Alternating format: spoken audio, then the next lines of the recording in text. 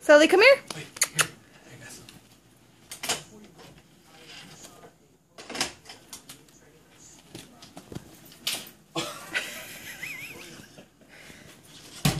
Throw it this way.